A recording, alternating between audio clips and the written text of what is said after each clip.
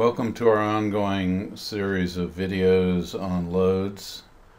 We're dealing with the classification of loads and in particular we're focusing on dead loads or the loads associated with fixed elements in the building. This is chapter 2, subsection, uh, section 2, subsection 2. Um, here are some of the densities of common building materials.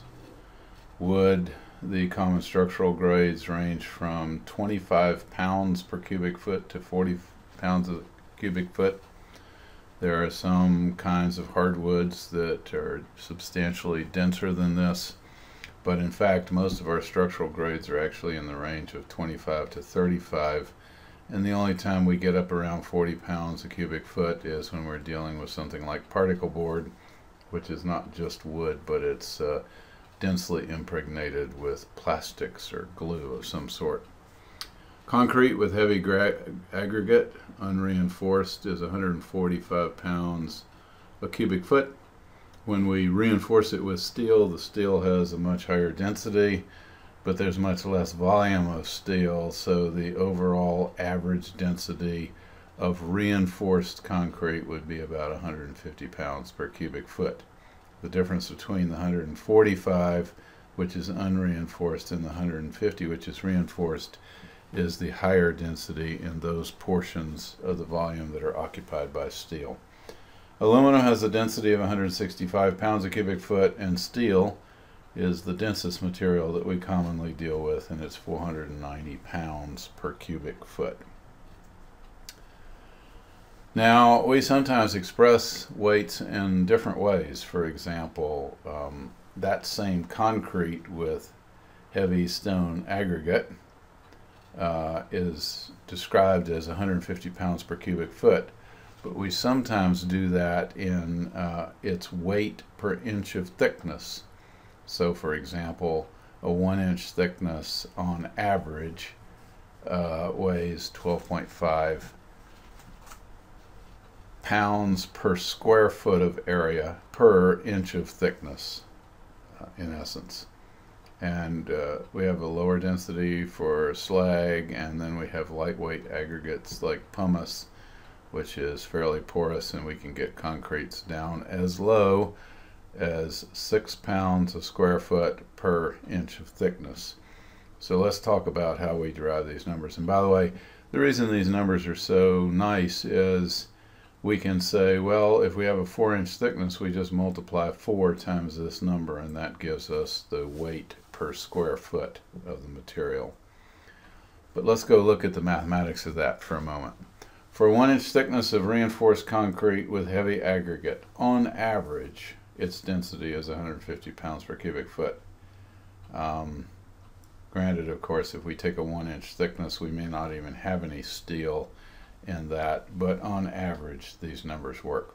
So the weight per unit area of a floor slab, for example, will be the density times the volume, that's weight, is density times volume. The density is 150 pounds per cubic foot, and the volume of a one inch thickness that's a square foot um, will be one inch times a foot times a foot. Now we'd like to cancel out some units and clean everything up and the one thing that sort of sticks out like a sore thumb is this one inch unit and we'd like to convert it to feet so everything is in feet and everything simplifies as much as possible. So we're going to inside this square bracket we're going to write 1 in units that are helpful to us. So we'd like to cancel out the inch. So we put 12 inch in the denominator, we put foot in the numerator. So this is a way of writing 1, which is going to cancel out that inch with this inch, and we'll end up with feet cubed above feet cubed here. So this entire numerator is going to be in pounds by the time we get done. And basically, we're going to divide this 150 uh, by this 12 so we have 12.5 pounds per square foot per one inch of thickness. In some texts and references, this is actually expressed as 12 pounds per square foot of area per inch of thickness. So that's what we have here is the 12.5 pounds per square foot and it's indicated here that that is for a one inch thickness of that slab. For a five inch thickness of reinforced concrete with heavy aggregate, we just take that value that we just derived, 12.5 pounds per square foot of area per inch of thickness, we multiply that times 5 inches of thickness and we get 62.5 pounds per square foot of area.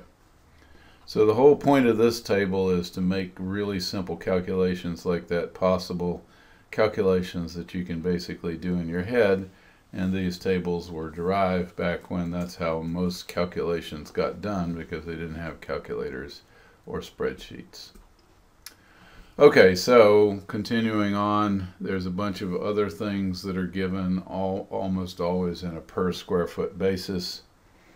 Um, let's go jump down to something interesting here.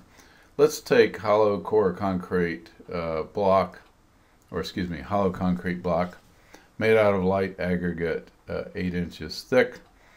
This weighs 38 pounds per square foot of wall. In other words, when you stare at this 8 inch thick wall straight at the wall, every square foot of that wall weighs 38 pounds. 38 pounds per square foot. This is immensely helpful. This is much more useful than the previous calculation uh, based on one inch thickness of solid concrete because that concrete is solid and the geometry of working that out is pretty simple.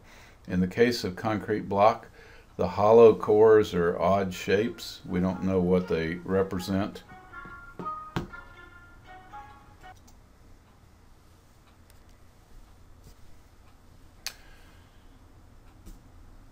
So, suppose we're looking at a wall, which is 10 feet tall, that's made out of this 8 inch thick light aggregate block that weighs 38 pounds a square foot. So here we've shown the wall and the footing and we've separated them and we're showing the forces that exist between them. So these arrows represent the upward force of the footing on the wall and these arrows represent the downward force of the wall on the footing.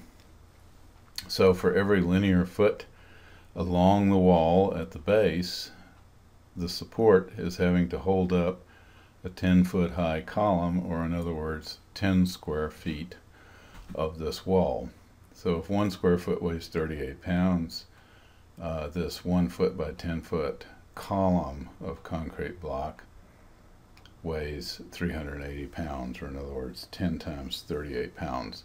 So the load along the base of this wall, the upward force, is 380 pounds per foot, or in other words, the, the force of the wall downward on the footing is 380 pounds per foot. That ends our discussion of dead loads or fixed elements, the self weight of fixed elements on structures.